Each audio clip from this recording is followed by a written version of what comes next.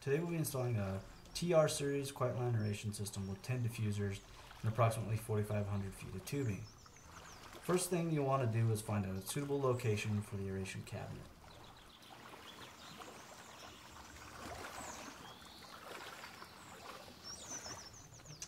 Typically you'll want to be on level ground above the high water mark and have easy access to the pond edge and power.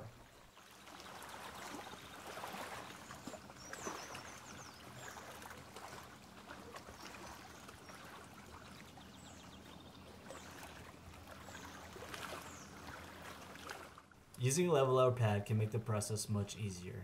The level leveler pad has been designed to provide a level surface for your aeration system.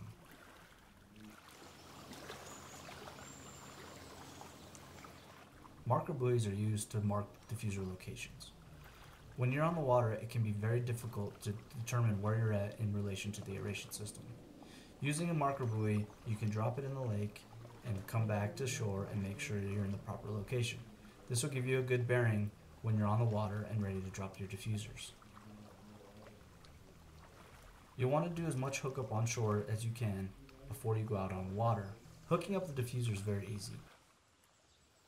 Be sure to use a clamp, press it firmly onto the tubing, and begin to tighten the clamp.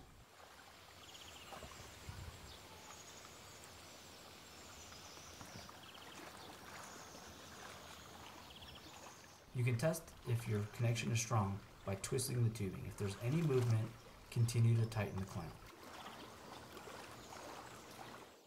Now you're ready to drop the diffusers in the lake. It's easiest to pull the tubing from shore. Typically you would take one diffuser at a time and pull the tubing out from shore.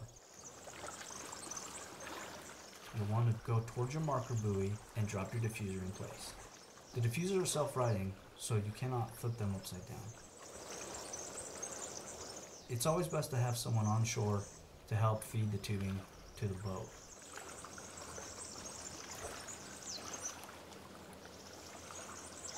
Using reels of tubing for larger jobs makes the process much faster. A 500 foot reel can be installed in no time using this method.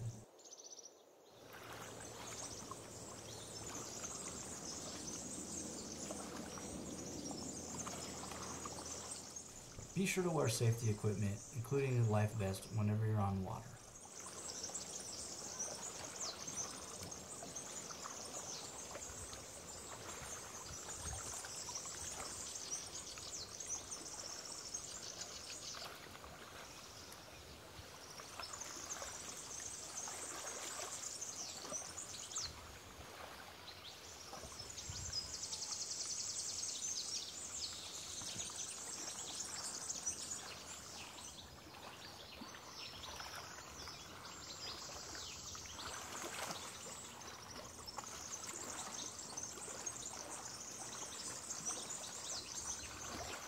Be sure to pick up marker buoys when you're done.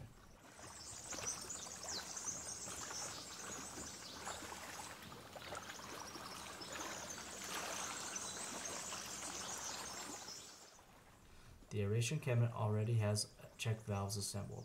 All you have to do is hook up your diffuser tubing to the pre-assembled check valves, tighten the clamp, and it's ready to go. When you're all done hooking up all your lines, fill in your trench. Best to have your tubing at 8 to 10 inches below the surface so that it cannot be disturbed from above. With the aeration system all hooked up, it's time to test the aeration system. All quiet line aeration systems come with a programmable digital timer. This can be programmed to run whenever you would like. In a newly installed aeration system, we recommend you run the aeration system 24 hours a day for quite some time. This will ensure there's plenty of oxygen available for fish and aquatic life. When you turn this system on, it will take some time for air to reach the diffusers, so be patient. Once you see bubbles coming up from all of your diffuser locations, you may need to balance them out to ensure that this proper amount of air is going to each diffuser. Typically, the most air will be coming out of your closest and most shallow diffusers. You'll need to balance the system to force air to the deeper, longer diffuser runs. This can be done using the adjustable manifold inside the aeration cabinet.